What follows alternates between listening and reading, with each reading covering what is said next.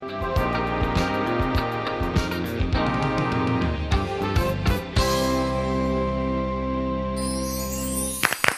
开你的困惑，化解你的烦恼，潘朵拉心情 Bus。带你探讨不同的心灵世世界界。大家好，我是钟博。大家好，我是 Nico。哎，Nico，哦，你这次啊，真的是恭迎斗邓来。哎，真正对我看我今日穿安尼，我是因遐过年的时阵穿安尼，你知道吗？我知啊，好你就是请阿呢去尼泊尔嘛。无，我是你这去遐次就安尼啦。哦，你这次啊，从尼泊尔回来啊，我相信呢，你不但在那边见证到很多神迹，看到很多殊胜的事情，也带来了很多的这个我们讲的圣物、法器加持等等。但是呢，我记得那边应该有很多地方没有这么容易去吧？是，其实呢，你一嗯般自己去观光哦，去的地方大概就是走马看花，还有一些点是不能去的。那我们这次是因为刚好有呃特别的人带我们去，对所以呢有很多其实平常是你不可能看得到，嗯也不可能进去的，或者也不能没有没有打开让你在里面呃修法的。是这次我们都去了。哇，真的哈、难怪非常特别我们都说 Nico 你是女神，真的吗因为呢，只有你做得到，而且他们这次所带回来的很多的圣物法器，它给我们现场很多的来宾都带来了很多生命的改变，带来很多正面的能量。首先，我们就先来欢迎我们的第一位来宾，资深媒体人年长玉年姐。大家好，大家好，恭喜年，姐发财对年姐近几年开始研究风水及财神，改变了环境摆设之后，他开运的成果令他相当满意啊。对第二位呢，则是 Tony 尼泊尔的贵族。Tony 对尼泊尔文化相当了解，擅长描绘佛像，专长建筑规划设计。第三位陈心妍，心妍是年轻就发财的小资女哦。以前呢，我在购物台也常遇到她。遇到财神之后，心妍事业从平凡中大翻转。好看完了我们这些来宾啊，真的 Nico，我看到了 Tony 啊，我一开始就觉得 Tony 他给我的感觉，他就是跟我们所说的这些尼泊尔的，不管是这些神佛啊，特别有这样的缘分。真的哦，听说对，因为他事实上是一个建筑设计师，是结果呢，他今天在节目中对听说你带来了一个圣物，没有这是什么？这是我们的 Tony 在这一次的节目中要送给我们的，你来看看，来，哇，好大哦！这个不是，这是 Tony 带来送给我们。他这是 Tony 亲自一笔一一画这样子整个画下来的，Tony，这不是你带来而已，这是你画的啊。轻画的，很厉害吧？难怪我刚刚就说，我觉得财宝天王，财宝天王，这个财宝这是财宝天王。对，加五路财神，对，加五加五路财神，哦。哎，这个花多长的时？对，多长的时间这个间？大概花了一个月的时间，大概每天八个小时的时间。每天八个小时，花一个我月，斜斜的举，还有下面呢。真的。哇，真的哎，为什么你的修为可以到这样子的境界啊？而且不可思议是，你看它的配比有没有？你在画这里的时候，你怎么知道要配哪些啊？所以？是不是要是先都要定好位置？没错的，就是完全凭的那个 感感觉，一次定到位。对，哇你看，那一笔真的错整个就完了。对对对，要问问看我们 Tony，你自己本身是怎么样接触这个？尼泊尔尼泊尔怎么以及藏传跟尼泊尔结缘？你怎么到这种参展？我大概讲一下我的那个修那个学佛的过程。我在原则上在高中的时候，我就接触到藏传佛法。那时候呢，早期的那个那个呃车站的默契呢来到台湾的时候呢，我就跟他学。然后呢，呃，因为特殊的因缘，因为要追求这个密教的法呢，我又到了尼泊尔去。呃到尼泊尔去的时候呢，我就呃，因为各种因缘的时候，就是跟我老婆认识，我老婆是尼泊尔的贵族，所以因为这个因缘结识之后呢，我对，因为他们家族对藏传佛法的的地位非常高，所以呢，我接触到非常大的仁波切法王级的人物，所以呢，我跟随他们一阵子呢，在潜修佛法，从最基本的是加行一直到无上瑜伽部，所以因为有这种关系呢，所以我对尼泊尔非常了解。那我自己在会所会唐卡的部分呢，原则上是这是我们修呃修行的一个部分。那原则原则上呢，唐卡的目的呢是让我们呃便于观想的，而且它可以在很定的状态之下呢，让自己的身体呢产生一种很平静的状态，喜悦。所以喜喜悦跟快乐。所以呢，我在那个过程中呢，算是我的修行的一部分。那我在里面也获得非常多的一种一一种感，所以我每次都会用那个什么绘画唐卡呢来静我的心。哦，对，因为这种因因为这种关系，然后因为认识的关，然后因为这次也认识了仁波切，因为仁波切跟我是同一个呃上司嘛，然后我们跟兄弟一样，所以呢，呃，认识仁波切，仁波切是呃葛罗仁真仁波切呢，他是台湾非常巨的一个上司，非常少有的，他要教三年三个月闭关，他。在学习过程里面都非常如法，所以那时候我的上司就叫建议我，就来台湾亲近格罗林真仁波切，是因为这样因缘呢，所以我对秘法的东西呢，他是我是非常了解。那基本上我自己本身是从事建筑跟规划设计的部分，所以呢，我在全世界的地方跑来跑去。可是我每年固定有两三次，我都回到尼泊尔去充电，这是已经持续了十几年的东西，所以我跟秘法。一直有那个因缘存在是这样。哎，那尼泊尔人到底最喜欢？他们一般都比较最喜欢请的是什么样的神佛啊？嗯，基本上尼泊尔请的最多的就是除了杜姆之外呢，应该就是呃黄财神。哦，黄财神。对，有一个典故哈，就是黄财神那时候呢，释迦牟尼佛在明鹫山要讲大般若经的时候呢，那时候非常多的这个妖魔鬼怪来踢馆。哦。那时候来踢馆的时候呢，整个山崩啊，还有很多石头砸向那个那个释迦牟尼佛。结果呢，黄财神就。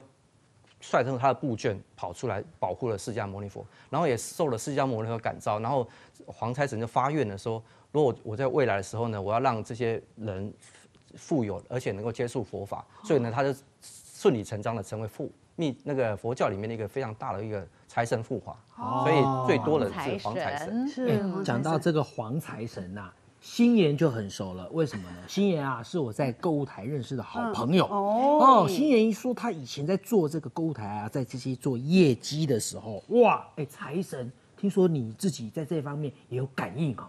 对，因为像财神的部分来讲的话呢，因为最主要是当初自己是为了要转换工作跑道，对，然后当然是需要有多一点这方面的助力的这个时候的话，那就是一定要来请财神来帮我们忙。那因为最主要自己还有在背房贷的部分嘛，嗯，当然希望能够不但是要能够短时间之内赶快赚进来，那也要能够存下来。那所以有去做这方面，有请财神。那结果呢？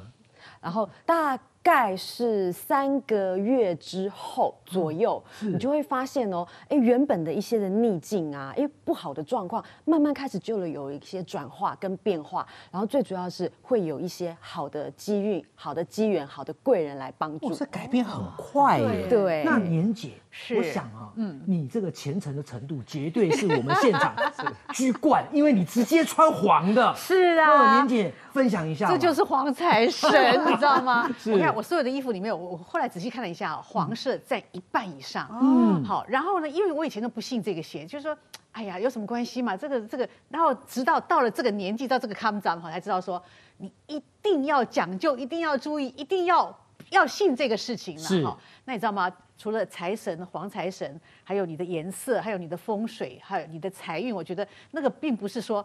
利安的青菜用用一堆来，嗯，是安呢。我刚刚有看到我们的 Nico 女神带了大包小包的纪念品，从尼泊尔远渡重洋回来的。想也知道，这一定是要跟观众朋友结缘的嘛。而且既然讲到财神，一定跟赚钱有关。广告之后回来，我们再来跟观众朋友一起分享。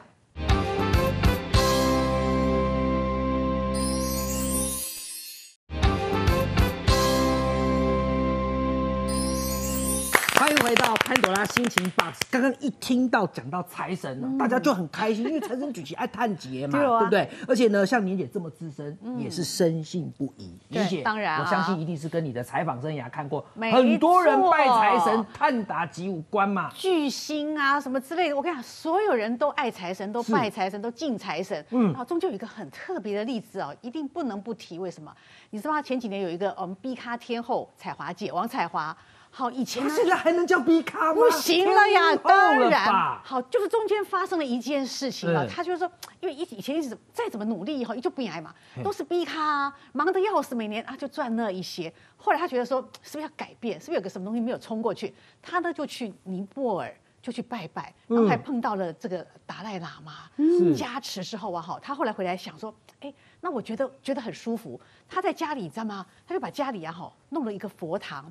这个佛堂里面的所有的东西啊，哈，就说包括呃，他要拜的东西啊，陈设啊，哈，都是从尼泊尔去请的，还等了一年多，然后慢慢慢慢才请回来。中间有一个很重要的，就是黄财神也请回来了。对好，他请回来之后呢，每天拜哦，拜的时候呢，要念一百零八遍的，就是那个那个求财神财神咒，每天要这样子，非常非常虔诚。那他其实讲说哈，他其实并不是说一直讲说啊，我要被断打击，我要被断打击，不是这样子一直求这个事情，哦而是说在在念这个财神咒的时候，他就心里就很平静，很平静。然后念完之后呢，就很有力量，嗯，就觉得啊，我给你就有惊喜，就有勇气哈，然后就出去拼，就真的很顺。其实他到目前为止，他还是维持每天这样的习惯呢。是他刚拜，哇他刚好念一百零八遍，对他真的很虔诚越来越顺，越来越嗯顺。他所以他认为说，其实这个包括他这个哈，这个求这个黄财神回来之后，然后在家里这个总这个过程是让他转变。嗯现在哈。他你不能说他是 A 咖天后了，但是已经是 A 咖了，是而且他的那个酬劳还有很多的活动的费用哦，是一直在水涨船高当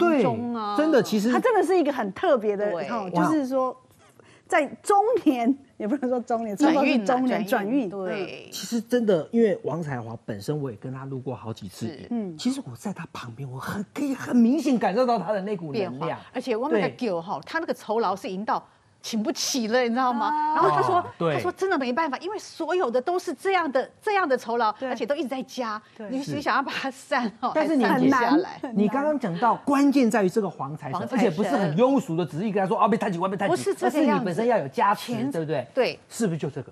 就是这一针，就是这个嘛，就是这一针。哎，你看 Nico 多好啊！因为彩华姐我认识，她的转变我可以证明。那原来就是因为她拿了这个去尼泊尔加持，嗯，这样那那大家真的都很羡慕他。，对，但大家不用羡慕，因为这次呢，我们在这一趟的尼泊尔十二天里嗯。面，就在十个圣地跟五个五场两个大法会跟三个法会当中，由仁波切亲自真的帮吗大家真的？就是加持，他也也许彩华姐刚刚连姐讲到的，哦。她也许在仁波切加持，可能就是这样的。可是你是十个场地。哇，那有没有影片可以让我们大家品量尝一下？对，我们来看一下当中，其中有一个杜母法会，带回来给大家看。杜母是诸佛之母，呃，是一切诸佛菩萨的妈妈，也是一切诸佛菩萨事业者。事业者就是帮一切诸佛菩萨做事业的人。呃，杜母的原理当中就有，呃，先为逆身相成佛，先为逆身相度化众生。它有这种的一些特殊的它的有原理，特别是它要呃消除八难，就是世界上面有八种、十六种等等所有灾难，包括我们地地区火风的灾难，还有呃人生这个我们所谓生命的障碍，或者财务的障碍等等各种障碍都它消失。因此呢，杜牧的这个原理是不可思议的。哇，真的是不用我有看到，我有看到这个是五姓财神哦，你有看到五姓财神了哎？这个好棒哦！哎，我们把那个财神卡拿到现场法会的话，来去做加持的话，好羡慕哦。那这样他那个财神卡的能量一定非常非常强。哎，我也很想请一个黄财神哎。对听说在像这样的法会里面，一定很多的神机会发生，有发生吗？你有看到？是，你知道，其实那个我们刚刚看到的是，因为是面对着坛城，可是他他的那个面坛城的前面就是整个这个、呃我们的这个所有的喇嘛，对还有当天参加。那我们那个地点这次有两个大法会嘛，一个是十轮金刚法会，一个是杜母法会。那我们刚刚看到就是杜母法会结束之后，这个问问仁波切。整个的访问，然后很有趣是，你可以看到哈，在那个杜母法会里面很特别，就是我们现在看的是坛城，为什么没有拍那一边？因为那边全部都被雨淋了，就是啊？被雨淋，对不不可能。这个是尼泊尔很干旱，对，因为尼泊尔它是这样，它这这几个月呢，嗯就是从诶、应该是十月还是十一去年10月开始，对，一直到二月嘛，这个对不会这样它是整个是干季，对呀所以呢他们根本压根儿没有想过说。呃，所以他们搭的那个棚子，因为我们是在那个呃大塔的里，就就是说最最最最上面那一层。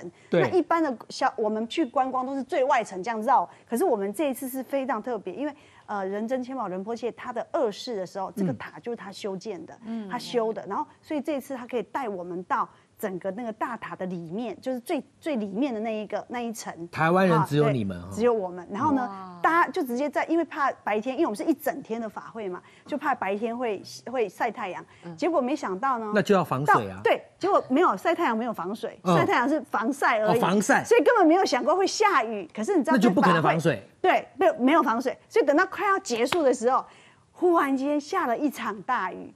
然后呢，可是你知道很感人哦，那些喇那些所有的僧人喇嘛，他们就是在雨中把最后的那一段的经文啊，还有科仪全部把它弄完，都没有动，就这样把它把它弄完。哎所以我们就转过来变成拍这边的这个坛城，所以我们刚刚看到整个是坛城跟整个贡品那些全部在里面，非常的殊胜。然后他们说。嗯重点是说，我想说，哎，怎么回想？他说，你知道这个是一个特别，应该说神机，因为他说一个法会非常圆满的时候呢，他就会在最后的时候天降甘甘霖，表示整个的洒尽，然后整个的圆满这样。然后你知道尼泊尔的那些贵族都说。好惊讶哦！这种旱季已经三个月没下雨了，啊。怎么会忽然间下一场？十五分钟就没了？嗯。然后所以后面就是干的了，啊，就这没有么，我觉得你讲这里头让我觉得最叹为观止的就是，第一，这一般人根本去不了，是。可是你是台湾人，而且你去到了。第二个呢，你说你一共跑几个圣地，十个十个然后办几场法会，三场呃五场，五场法会，个大的，好，然后你又见证到了神迹，就是本来不可能下雨的嘛。对对。不过我刚才听到新言有大喊一声，是他大概也看到神迹了。你说你看到什么财神？呃，五姓财神哎、，托尼，这我就要问你了。你说五姓财神呢？像我自己采访的生涯，我知道有五路财神啊，我也知道说像黄财神等等哈。但是，嗯，你说尼泊尔他们那边有没有五路财神？还是他讲的这是什么五姓财神，是尼泊尔是有五姓财神的，那个财神的部分呢，尼泊尔的那个五姓财神呢，他叫藏巴拉，嗯然后他是硬化那个五方佛的位置，所以他依颜色来区分，有黄财神、白财神、哎黑财神黑、绿财神绿、红财神，一共五个财神。嗯，对，所以这五个财神呢，就是印化了所有的，就是当初就是是就是那个他们为了守护佛教，所以他们有佛五方佛来印化之后呢，来帮助众生来接近佛法。哦，是是是五种颜色是，是还有一个财宝天对，王。可是我之前有听过，还除了五姓财神，还有一个财宝天王，对啊对他们的关系是什么？财宝天王呢，事实上是五五五姓财神的首领，因为他们都属于对总管对总管哦，因为他们都属于夜叉神。那五那个北方多闻天王呢，就是财宝天王呢，他镇守北方，所以他是，带领的那个那个那个夜叉神众，就是这些财神。嗯，哎，心妍，是听起来你颇有研究哦，真的是叫五姓财神。你自己请过什么颜色的？呃，因为我先前就是因缘机会的部分呢、我我是参拜的是黑财神，黑财神。对，黑财神的话就是这边的哦，你那边就有黑财神卡就在。你旁边也有哦啊啊，爸爸妈妈也可以看一下，我们电视机上面就是这个。对，常讲哈，那个福无双至，祸不单行。哦对就是其实原本我我就是在电视台工作的，那嗯但是就是突然之间哦，碰到事情的时候，我手上的节目全部都停掉就。你那时候祸不单行。对，然后不只是不只是节目停掉哦，那等于我主要的收入就没有了嘛。是啊，好死不死，那因为我是开车上下班的，然后又在交通上面发生了一些状况。那虽然说是有保险，可是，在保险之前，你还是要先去垫付啊，我赔你，你赔我，然后很多交通事故，全部的事情都打在一起来。那最主要的是，你说那是不是是不是很尴尬、很惨？对啊，主要收入没有了，就没有就钱，要赔钱。对，然后没有先垫钱钱就算了，还要垫钱，还要赔钱。那最主要是我每个月是背背贷款在身上，房贷房贷。对，那这根本就没有办法过日子的状况之下的话，那真的就是必须说。快速。希望对，在短时间之内能够把这些不好的运气去转掉。然后这个时候的话呢，像我这次就有报名参加我们这次的法会的部分，是。然后啊，我去请了我们的这个黑财神之后啊，大概呃算一算前前后后大概三个月之后左右吧。嗯，那当然原本的工作都没有了啦，那你还是要努力去找新的嘛。嗯，大概真的哦，就是请了黑财神过后的三个月开始哦，哎。慢慢开始，因为我努力去拜访的一些客户，开始 case 开始接回来了，有 case 的 income 接进来了。然后呢，因为原本就觉得我哪家所以做什么事情都不成功。哎，这个时候呢，三个月之后开始有贵人帮我了，贵人来了，然后 case 接进来了，慢慢好运也都进来了，就转换很大整个这个转换的这个能量，就让我觉得真的这太神奇了。哦，哎，听到新言这样讲啊，我发现呢，他的事业啊，竟然柳暗花明又一村，真的就是靠的就是请黑财神，这个很快速的。短时间之内嗯的急速转对，，真的。但是啊坦白讲，我还没听过黑财神，我只听过黄财神跟财宝天王，就是这些财神的首领啊。但是今年讲到黑财神，引起我的兴趣，但还有多少财神可以让我们所有的观众朋友都能够不一样猪羊变色哦，像他一样柳暗花明又一村，探短吉。广告回来之后，我们马上来告诉你。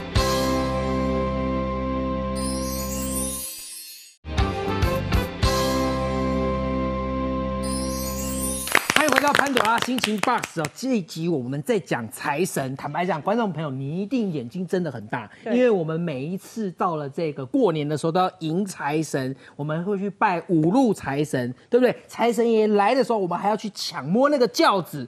因为我们要赚钱呐、是不是？好，可是我刚刚听到星爷你说黑财神，哦，我还真没听过。可是没想到三个月耶，好快哦！哎老急速转运，对，急速转运，你可不可以告诉我，从黑财神这边让我知道，其实我们很多人对于五姓财神还是没有那么熟悉耶。介绍一下为什么五姓财神跟我们的感应特别的强。对，我这边有一个表呢，这是佛教讲的三界二十八层天的一个表哈，它里面原则上讲欲界天、色界天跟无色界天。那欲界天呢，它有六六个天，我们讲说六道轮回，就讲就讲这欲界天的轮回。那里面有一个六欲天呢，就是说六欲天里面有第一个就是四天王天哦，就是我们讲的呃呃北方多闻天王呢，这就是我们讲的黄这个财宝天王。那他们的财神的天呢是属于在这一天里面，因为统领夜叉神众。对，然后过来就是倒立天，呃，倒立天事实上是释迦牟尼佛跟他妈妈为他母亲说法的地方，然后夜摩天、兜率天就是我们知道弥勒佛对他在的地方，弥勒内院。哦率天。对，然后化乐天，他化自在天。那为什么财神呢会跟我们的感应会这么快速呢？主要是原因是说，我们人界呢离这个四天王天是非常近的，哦，等于人界的上面其实就是四天王天最接近的，对，最接近。最接近。人上面有一个阿修罗，是阿修罗上面就是四天王天。啊四天王天的里面的感应最快速。那有一种说法就是说，呃，就好像说你们家的事情呢，你有时候找土地公就好了，不用跟预防大力报告，这是一样的概念。因为它比较近，没错的，感应比较强。那 Tony 你看看哈，我们这边有特别写到我们写的五姓财神各司其职啊。那你可不可以稍微介绍，向观众朋友介绍一下每个颜色啊？你看，好的，像环财神呢，我们刚刚讲了，因为他是整个五姓财神的手，因为他当时候呃立了战功嘛，所以那时候保护了释迦牟尼。对，所以呢，他目的就是开始消除业恶所带来的贫乏。那这个是非常适合一般人修的，这里是最多人修的财神之一是。对，那白财神的部分呢，呃，就是说一般我们的对远离贫穷啊、贫困啊，一般比较穷的那个人呢，他们事实上是蛮适合修白财神，因为白财神是有观音菩萨的愿力在存在里面。对，然后黑财神的部分呢，它有一个故事，就讲说他帮助一个国王。从重新取得他的江山，所以他对那个失而复得，可以并生财富，他有这个典故。所以，然后他对于那种呃长期受贫困所苦的也也是非常适合的。然后呢，还有就是他对刚刚刚刚讲的，就是说他对可以快速极富，而且他对偏财呢，事实上有天才很大的所以他当初决定请黑财神也没有错嘛，是没因为有错的他工作丢了嘛，对他要失而复得，而且他要快。对，是的。哦，是像被一般被劫财的东西，黑财神是最快你的钱被劫走了，赶快去黑财神给把它借回来。接回来红的红财神呢，一般是对广泛结缘呐，他因为他的就是这个人缘会非常好，人脉非常好，就是像像明星啊都喜欢修这个红财神啊，对红财神难道就是业务型的也是？对对对对，没错。所以那个对高位权位非常高的一些政府官员啊或主管级的，他们都修红财神。啊，对，他需要人缘人脉。那绿财神比较特别，绿财神就是说，基本上你一定要有钱的人，你要持续你的钱，你才能够再修绿财神，因为它是属于金字塔顶端的。金字塔顶端的人就会修绿财神，因为他要更已经对更有了解。哎，我们很多观众朋友其实家里面也是属于经济状况不错的，是那他好要更好，绿财神。就是修绿。但是也有可能，是不是可以？比如说他是做官的，他又要失而复得，他是不是可以请两两尊或那当三尊？然了，就又黑又绿嘛。其实老实说，真的这没有什么对与不对。对，没错。OK，那财宝天王财宝天王一般就是五姓财神之首嘛，所以他领导他的五众，而且他对佛教的护持非常重要。所以一般我们在讲说我们要修这个财宝天王的时候，我们都要护持活法，嗯感感应会更快速。对哎，这个说法。年姐哦那就都有了。刚刚听到你讲王才华，我是觉得真的感应很强，对因为我们都见证他的很明显有没有年轻一辈的艺人也是靠拜财神，结果大发特发的？对，其实哈、年轻人他有这个上进心啊，哈，这个比比皆是。尤其艺人里面有一个很成功的例子，哎，谁呀我们的萧亚轩 Elva 哦你别看萧亚他哦轩他是从国外回来的，嗯但是你知道吗？他是逢庙就拜哦，为什么？因为他要出唱片、出专辑，其实有拜有差。他其实台湾哈，包括这个行天宫啊，哈，龙山寺什么，呃，是是四面佛，他都拜拜过了。嗯嗯，好，他有一次呢去北京啊，哈，这个巡演，巡演完之后，他们就说。其实啊，现在那边有一个，就是以前雍和宫改的，现在已经叫叫喇嘛庙了。嗯你要不要去拜一拜？结果他就跟经纪人就去拜，他有一种到那边之后，他有一种很神奇的一种感觉，就好像就觉得好像有有很多事情要讲。结果他在里面呢，哈，其实他们去的时候，他就呃一个一个这样拜哈，就他有好几个地方嘛，就一直拜，一直拜，一直拜，花了大概呃合台币才才一百多块，因为他们要买东西哈，在是一个，竟然拜到什么时候你知道吗？拜到那个人家里面来请他们说，哎，这两位小姐，因为他跟经纪人，我们那个要关门了，我们我们公园公园关门，一个啊才惊觉说，一个人讲拜他，一个人踢昂踢啊拜到，入，他已经拜到对，入神了，所以他就觉得他那一次在拜的时候，他觉得很奇怪，就觉嗯得好像他走不了，就在里面那样一直讲啊，很多话一直讲讲讲，拜完之后出来，哎，他觉得说，嗯，好像蛮蛮有收获的。就回来台湾之后啊，哈，他就开始宣传他那个新的专辑，那张新专辑啊，哈。大发特发，哦那张专辑重的非常的厉害，而且他其实他在他在那个拜的时候，他也特意讲说要求全家平安。那其实那阵子就是说家里真的很很顺利，包括他的事业又特别的好，所以他从此呢就笃信这个，其实也就是所谓的黄财神嘛。他在里面有特别求这个东西。哎，真的，他这有也是我讲的，就天注定哎。你看看他，就什么时候不拜，那时候去拜。对。啊，什么时候不拜那么久，就那天拜特别久，久。然后就拜那么久，他就红了。对啊，因为我之前在北京待了七年半，哦。所以呢，我知道雍和宫本身除了这个黄财神之外，还有财宝天王啊，还有好对几个财神。那我就知道台湾有非常多人在拜财宝天王。但是大家可能对财宝天王没那么不了解熟悉。对，哎，Tony，对。财宝天王，嗯，怎么来？我们大家讲一下？财宝天王呢，基本上呢，他是最早期是印度教的神嘛，然后呢，他其实那个叫夜叉叫 Kupiro，叫做巨皮罗，嗯，然后呢，因为呢他呃修行非常好，所以呢大梵天王就封他镇守北方，呃镇守北方呃四天王呃北方多闻天王这个天，嗯，呃所以呢。因为这个，因为这个缘故呢，在释迦牟尼佛要涅槃的时候呢，特别请四大天王去，然后财宝天王就讲说，我要我当为利益众生，我要赐给众生财富，然后让众生可以呃广传佛法。因为有这个典故呢，所以财宝天王，呃在在佛教界也是非常名声非常大的。对，哦，是这个原因。你看，其实 Tony 刚刚在讲，对我们电视机上面不是都有那些财神跟财宝天王的卡吗？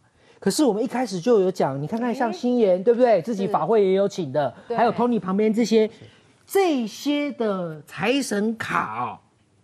我告诉你，我右边这位 Nico 女神，她已经一开始就说，她跑了五个圣地，十场法十十个圣地，十个圣地，五场法会五场法会，这样一路办下来，所以一定很多嘛，这些卡。没有啦，我这趟你想，嗯我一个小女 弱女子，对吧？要带那所以到底是多大概多少对？有多少这样的卡？哦，因为我这次其实呢，就是因为有很多工作同仁也跟我拜托要请去，所以事实上数量不多，但没。关系，反正呢，我们很阿莎里直那我们，节目中能不能有结对对，缘我？们给节目中的观众一个来结缘，观众朋友财宝天王的，你听到这哇啊？我说真的，要赶快跟我们制作单位联络。我这次呢是真的卯足了劲，跟你说一定要这么做，因为财神卡这不是公生球，财神卡就是直直接就是公会被探劫。而且最重要的是这一次的这个这次的这个呃五姓财神卡，嗯还有加上财宝天王，其实呢还在尼泊尔一个非常特别的地方特别加持，那个是哦平常大家进不去的地方。那可以等一下告诉我们吗？好让我们知道为什么这个财神卡扣零恭喜挂 turbo。广告回来为你揭秘。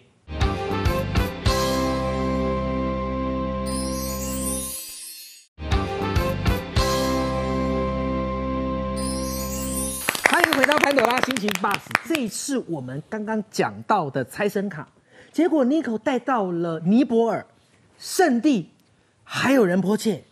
然后办法会加持。我光听这样下来，这这个我先讲，这财神卡你一定要给我。我我身为你的 partner，我先讲，我一定要有。但是更让我觉得 我现在异常兴奋，是因为你刚刚说到，你还带到一个很特别的圣地，什么地方？那个这个地方呢，是在尼泊尔，就是一般他们的达官贵人或者是演艺明星一定会去拜的地方，叫做马哈嘎拉大黑天的一个寺庙。然后这个这个是几千，就是上千年的这个佛寺，他们从来。是不让人家第一个不让人家拍摄，那我们能不能看？对，可以看，但是他也不开放给人家加持。是这次我们是仁波切带着我们在那边加持开光，在这个马哈嘎拉。哦，你有带影片哦？啊，来一起看一下。马哈嘎拉是金刚城的最主要的护法啊之一。呃，我们在尼泊尔在这个地方，呃，是不管是。呃，镇上名流，不管是民间的所有信众，都是一定会拜这个地方。这里大家都说这个法力非常强，啊，因此呢，很多人说心想事成。呃，呃，大家都是有时候呢，我们这个这个地方全部是挤满人，啊，好像是水泄不通，就是这样的。呃，接马哈嘎拉来讲的话，马哈嘎拉是我们在金刚城的最主要的护法，啊，是呃一切护法之王。啊，他主要是是保护佛法，保护众生，保护修行的人。修行人的行善、行菩萨道的时候，马嘎拉会保佑。同样的，做生意的人也好，做世间法的人也是，常常在这里拜。大家都觉得是，不管在任何人拜，就是会实现他的愿望，啊，会保护他。我刚听到仁波切讲说护法之王，哎，马格拉大黑天，你去了？去了。但是哦，因为时间关系，那边真的有发生很多特别的事啊。你说？对哦，你知道平常都水泄不通，可是那天我们要去的时候，就忽然间整个被净空。然后呢，我们在里边这样子的修法的过程，然后大家这样绕，然后念持咒的时候，那种那种整个那个连他们的庙祝都出来，直接。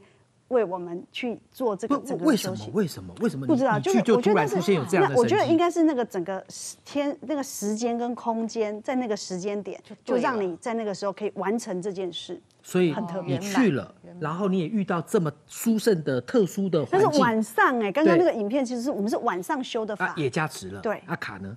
卡，我带回来了有嘛？所以有嘛？对嘛？有结缘吧？可以结缘吗？有。好，好，观众朋友，这你你你知道我这个人向来不喜欢浪费时间，我还有问到重点啊。好，那我们在期待这个我们讲麻大大黑天殊胜加持的财神卡之余，我还是要再问一下年姐，你说这样这个财宝天王或者是黄财神，还有哪些艺人有在拜这种财神的？其实哦，还有这个企业界的名人，我跟你讲，你真的要到处去看一些好的地方。找到好的东西回来，就像 Nico 一样哈。是这个呢，是这个泰伟公司的的老板，你知道吗？泰伟是做博弈的，博弈博弈的。嘿，然后就就说蛮蛮蛮相信这个所谓的风水啊、财运的。那他在各地都带了很多的的这个收藏品回来之后，他在他的办公室做了一件事情，他就特地弄了一个办公室啊，把这所有收藏品都放进去。放进去之后呢，大家就发现说，哎，有一个很特别的东西，黄澄澄、亮晶晶的。黄财神就供在那里哈，包括他自己，包括所有员工经过去哈，经过的时候就会每天来上班的时候就会对那个对那个黄财神这样子微笑微笑一下，讲几句话许个愿，你知道吗？发生什么大事？是他们哦，这个这个做博弈的哦，你知道这个风生水起的时候是很可怕，他这个从从几十块的股价，在这个财神进来之后啊。一度飙到三百块打关，电子机台的。啊，对，飙到三百块，所以他们都觉得说，哇，今天黄财神呢，真的是财运这样滚滚而来，所以他这个帮助了他自己，也帮助了什么所有员工，大家都受惠嘛，所以员工呢每天上班就上班的时候就这样啊，探多少钱，探多少钱。对，哎，讲到赚钱，那就是要问心妍哈，心妍。我们这个常常讲说做生意要有业绩，你一定看过很多大老板怎么样增加业绩的吧？对啊，因为我刚刚就讲到说，那重新要开始打拼的时候，重新要接触新的 case 嘛，对不对？嗯。我上次去拜访我们客户的时候啊，哎，我去他们公司，然后就看到，哎，他老板的办公室里面就有一张很大大张的唐卡，那我就去请问他说，哦，你们这个也是很虔诚，在这边做一个信奉这样子，嗯。然后问他，他就跟我告诉我说。这个是我们老板特别去请回来的，他说叫做红财神，红哎，然后说哎，红财神，我说。而且哦，他最主要是他告诉我说，自从他们老板开了这个公司，然后又特别去请了这红财神回来之后，嗯，对他们整个事业的部分来讲的话，不但是蒸蒸日上，是。而且是越做越顺，然后规模越做越大。那像前前面 Tony 有帮我们做一下一些介绍嘛，所以像红财神的话，这真的是知道他的人、了解他的人，还特别去请的，对不对？哦，对所以，不同的职业请不同，或不同情况请不同的感觉这个红财神给那位老板哈，好像呃做人呃变得变八面玲珑，然后更多人帮他的样子。基本上红财神呢，他就是人缘会非常好，这有一个他的特性，所以他本身是红色的。我们这个唐卡呢广，泛结缘，对我们这个唐卡呢，它是双双生的，它是跟财源天母佛母在一起。那基本上红财神呢，他是西方阿弥陀佛的化身，对，所以它是红色的，它是有相对应关系，所以它在对于那种缘分啊什么的那个是很有它，它可以积聚收集人气跟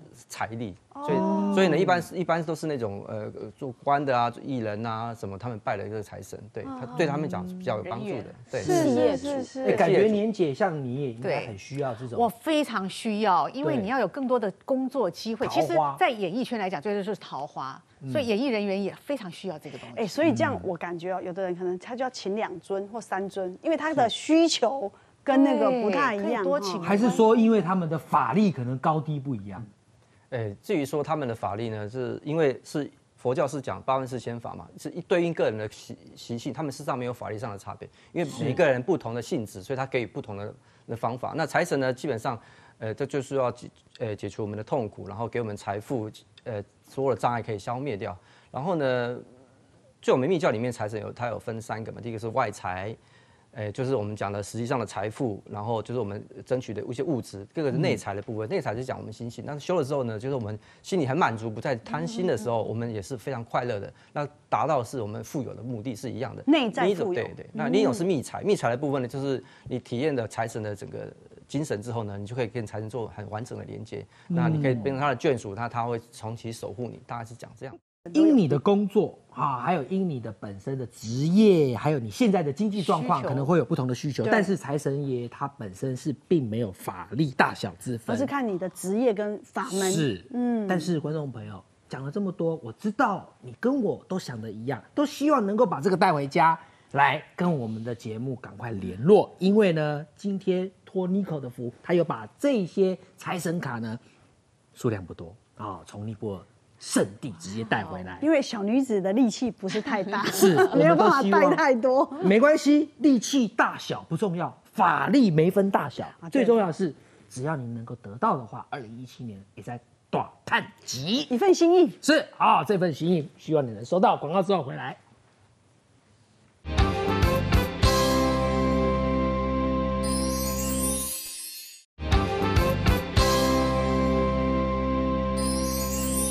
欢迎回到潘朵拉心情 box 哦，这个刚刚我们讲到了马哈嘎拉大黑天是什么？是一个殊胜的圣地。对哦，我听到仁波切讲护法之王，对，那我相信你们在那边做这个加持的法会也不一样吧？一定有更特殊的法会吧？对，当然，因为这次呢，就是因为我们这次去了十个圣地，然后有嗯五场法会嘛，是那其中当然有一个很很一个是千年的金刚亥母的圣对对而且是应该是现在目前全世界最古老的那个亥母的佛事。哦，然后呢，我们也在那边有一场很殊胜的法会，然后在那法会里面，我也带回来影片给大家看。一起来看一下。呃，这里是叫桑口，尼泊尔最古老的城市之一，也是你最古老的一个寺庙。啊、这里面最供奉的是金刚玉切木，金刚玉切木是诸佛之母，所有佛菩萨的母亲。但是呢，所有我们修行的人，啊、尤其是金刚城的修行人，没有一个人不知道金刚海母。这里，嗯，这个呃，里面修的人都是戒律非常严谨的，平常啊不会碰别人的身体，也不太会直接接接受这个别人的供养，啊，因此在这里呢，呃我们通常称为是呃这个金刚上师家族，他们是一个家族管的，从以前呃开始到现在，一直在他们有特别的一些呃修法，那对外不会传的这种的我们说呃为秘密的一些修法在。但是呢，这里是一个金刚秤的呃呃信仰的中心啊，非常重要的一个圣地。所以这个马哈嘎大黑天，然后又有这样子殊胜的法会，金刚亥姆的那您千年，应该带个几千份去去加持吧？我又不是我笑什么？我又不是货柜，我又不是货柜车，我嗯哪有办法对。所以到底多少？对，我我我只有带几十个，对不起。你带几十个，你有什么？What's wrong with you？你这个你大老远去那，然后你带几十个，这很不容易耶！我一个弱女子，对不对？然后我请摄影师帮忙，摄影师说，哦，他也很想扛多一点，但是真的，哎，就没关系，这就是姻缘啦，哈有缘，那我们就就可以跟我们节目有这个机会了，哈。那没有缘也没有关系，以后还有机会，或者来世有我机会。我懂你的意思，但是我真的要跟观众朋友讲啊，真的讲到财神，这不是公生球，哎对我真的希望观众朋友。你一定要能够跟这个财神来结缘，因为他是最太重要。的哎，不过 Tony 啊，我们刚刚讲这么多，你在尼泊尔还看过有哪些财神？我们刚刚没有聊，像白财神哦，白财对白财神，讲到哦白财神哦，白财神原则上是那个观音菩萨呢，他会感念阿底峡那个阿底峡尊者呢，他对贫穷人的那个慈悲，所以呢，他从他的左边眼泪化成杜母，右边眼泪化成白财神，所以基本上呢，拜白财神呢，等于是得到观音菩萨的加持，他可以让那些很贫穷的人可以迅速脱离苦苦海，是这样。脱离那个贫穷哦是很贫穷的，等于说是是照照顾到这个下面的这个阶层的对，啦脱离掉他这个贫穷的状态。是哦，对对。不过我还是要问新言了，因为新闻新言代表我们观众朋友的哪一种族群，你知道吗？代表的就是我们寿星阶级。哦，对寿星我们兰喜假狼逃楼兰假狼逃楼，妈妈，你现在在看我们节目的同时，说真的，你好生，你怎么讲？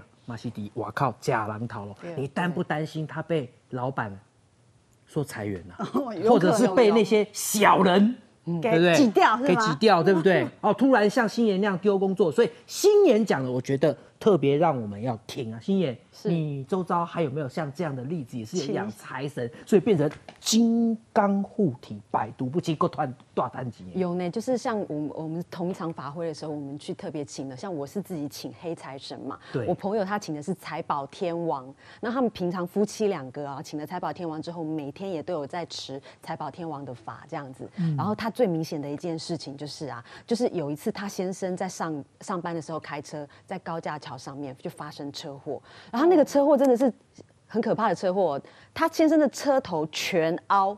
可是人没事，车头全凹，人没事逃哦。过一劫，对，所以我朋友就深深的相信是财宝天王救了他先生，嗯帮他先生挡了这一劫，这样子。那所以，我我们真的是觉得说，真的是你你要相信，然后这用这个感念的部分来讲，觉得哦，真的是有特殊的一个感应到。哦，财宝天王。啊，财宝对他是天天王啊，所以你看，我们常讲健康就是最大的财富啊。是。他朋友这先生保住了命，那才能赚更多的钱啊。没错，嗯，不过我又看到，我这代表什么阶级？你穿着那黄色的衣服，拼命的在点头啊！看来有很多话想讲，年姐，你自己也有这个用自己财神布我这次要听你自己的。那我们这个这个财位的地方哈，要干净哈，要要常常擦拭，然后呢，东西要放珍贵的东西，你不要按那青青菜菜哈，卖卖菜菜给给一下，那你的财位就不会有好对，要摆好的东西，珍贵的东西。旺的东西，就像黄财神这个卡一放那边，金光闪闪，然后它非常珍贵。又像说，尤其像 Nico 这样子，千里迢迢带回来，那更是弥足珍贵。所以主要的财位哈，你一定还可以很珍贵、很好的东西，嗯非常旺你的东西，把它放在那里，然后每天保持干净，每天对它很沉静，好，心诚则灵。我觉得这样的来讲是对你最有用的，这是我累积多年来的新得经验。但是你知道吗？放完之后发生什么事情？什么事其实你知道吗？我我以前哈，就是有时候乱放，然后也不管它，然后后来我我很恭恭敬敬的把它放的这样子哈，很很整齐，然后几个方位都有了之后，放完之后，你知道吗？我光是坐在坐在那个那个我的那个办公桌底哈，坐着而已、哦，钱就掉下来吧。坐着那个电话突然好，你看二十几通电话，二十几通，然后每一通都是重要，都是大的通告这样子。都是爱好你探通告对。然后完了。我我我离开那里之后啊，哈，等会的摩体，我又才坐下来之后哈，一直卡来，一直卡来，一直卡来，哦我会吓到，你知道吗？这里下好像就 就有一个金刚护体这样子，所以其实你真的，当然你是心诚则灵，但是你摩 T K 重要的地方、重要的方位，就是要给他摆最珍贵、最好的东西，最旺你的东西。难怪刚刚年姐吼在听，她一直很想抢话，因为，哎、他这个卡这样放下去，他只要坐在那，那鸡就一直一直给他砸头，哎，一直砸下来，哎，就电话一直来二嘛。十几通，然后一直插播，一直插播，插播，他们才被安做了。刚刚听到他说很重，所以这个数量是真的有限啊。那希望观众朋友呢，跟我们节目在联络的同时，你一定要把握这个机会去结缘。像我自己，我刚刚已经用千球、半球、半球的哈，呃，求妮可一定要给我，因为财神，你想想看，我们常讲是初五迎财神，没错嘛。谁让你不让我有好？来 初五迎财神，初四晚上十一点，你去财神爷庙，你去看看。哦，抱歉，你根本挤不进去。满满都是人，对。他们是不是都在等着要，对不对？可是我们现在讲的是从尼泊尔，而且是从殊胜之地，什么大黑天？马哈嘎大黑天、金刚亥姆，还有那个杜姆法会对，，所以您说这机会是不是百年难得一见呢？好，来，在你跟我们联络的同时，我利用一个最后一个空档，我问我们现场的来宾妍姐，你会想要什么样的财我神？现在哈有这么多的这个哈，我还想要有一个就是红财神，嗯，因为我需要人缘，需要桃花，需要好的新的人脉一直进来，哦，我可以望到我自己，可以望到我的艺人，可以望到我的所有的艺人朋友，就是对我最重要的，就是红财神我。知道，就做人比做事重要啦。对对对好人缘你起码一看有几个今天爱耳奏郎啦。对，收哦文并亚郎都受贿嘛，对啦哈安娜神。新年呢？像我刚分享我朋友的经验嘛，对我想学我朋友一样，我也要再多请一下，就是我们的财宝天王，因为刚才我们说财宝天王救了他先生之外哦，人保平安了以后对，他那一年他先生还用年终奖金额外的奖金又换了一台车，本来车子被撞坏的嘛，哦。然后他就是因为有了那个呃财宝天王的加持，年终奖金再换了一台车，那等于就是消灾解厄的同时，那又有另外的财进来，那我也希望能够学他一样，我要再请一下就是我们的财宝天王，然后可以放在我的书桌，那我也要有智慧财。哦，他 等于说财宝天王让你朋友先生免于祸害，然后又必有后福。对，又有财进来这样，哦阿我也想学他。我呢，我蛮适合整组的。对，因为呢，这个是非常特殊的、特殊的 基业，是的，特殊的基业，以后所以通常点。点讲撒王宫的人都是要求最多的人。我们台湾有一首歌啊，叫做《财神刀啊》。财神刀啊！你的家门口，但不是唱一唱，他就真的到你家门口啊！真的，我们今天潘多拉心情 bus 有这份心意，希望观众朋友能够跟我们节目联络，来跟这些财神卡一起来结缘。喂，短探集，我们下次见，拜拜，拜拜。